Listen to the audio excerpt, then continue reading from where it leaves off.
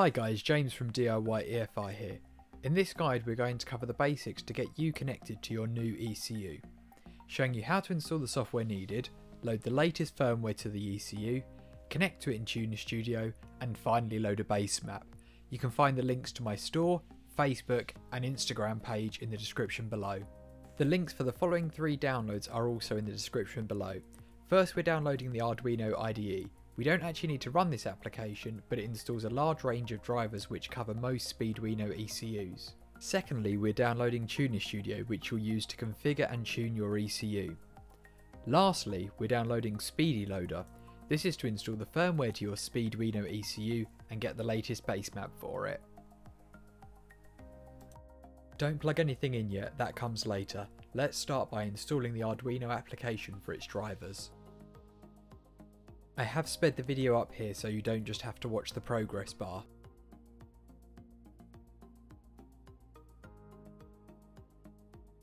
Now let's install Tuner Studio, leave all the options as their defaults here. Uncheck the option to open after we close the installer, we don't need Tuner Studio just yet. Right click the start button and select device manager. If you have a ports group already, expand it and make note of what's there already.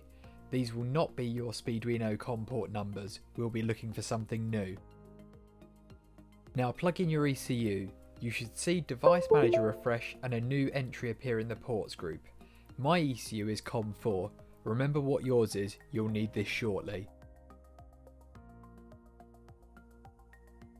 Close Device Manager and run Speedy Loader. This does not require any form of installation and should just run. Unless you have a specific need, leave the firmware selection as the latest and click Choose Port.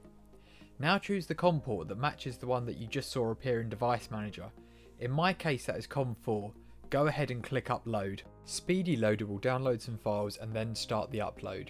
If your board has TX and RX LEDs, you should see these blink as it progresses. When the upload is complete, click Get Base Tune and save that to your PC. Close Speedy Loader and launch Tuner Studio from the Start menu.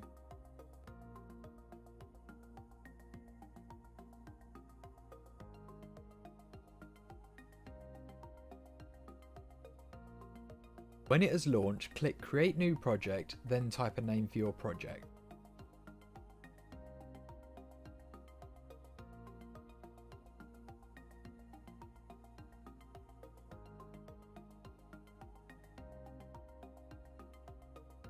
Click the Detect button. This should determine the COM port and firmware automatically. If it doesn't, don't worry.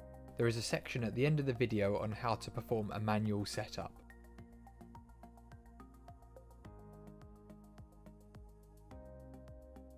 When prompted, click Yes to download the configuration file. Then click Next. Here you can calibrate your project. Personally, I only change the temperature units to use Celsius and enable the hardware tests. This gives you an extra menu where you can toggle injector and ignition outputs on and off for testing purposes. The next screen shows your connection settings. The detection process should have found the COM port you are using and chosen it for you automatically. Click Next and then Finish to complete the configuration. Tuner Studio should now have connected to your ECU. Currently there is no tune loaded, so most sensor data will not be valid, so let's load a base map. Click File and then Load Tune. Navigate to where you saved the base tune to earlier. The default directory is Downloads. Click Open, you should then be warned that it will overwrite the current settings. Click Yes to proceed and the tune should begin loading to your ECU.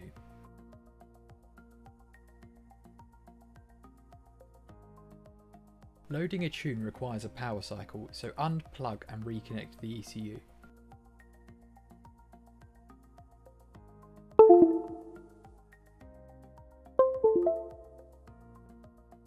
You will now notice that some of the data looks more sensible.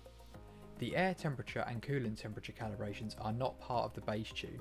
You will need to calibrate these before they will react to any input. You do not have to do this at this point, but I am just calibrating both to the Bosch type that I supply for demonstration purposes.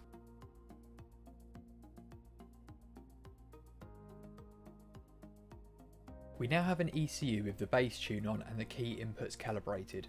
I'm just going to plug in my Speedy Sim This is a device that simulates engine inputs and also shows the output states. I'm not going to cover this in detail in this video as there will be a video on that soon.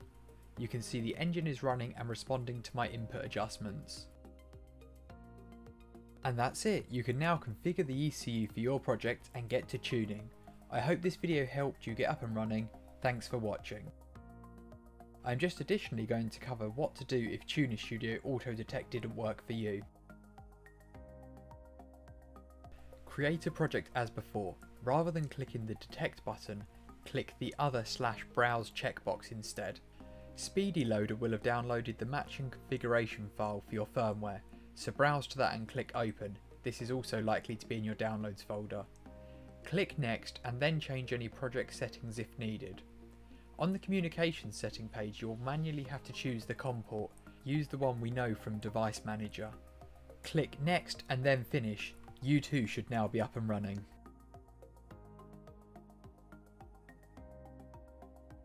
Thanks again for watching and enjoy your project.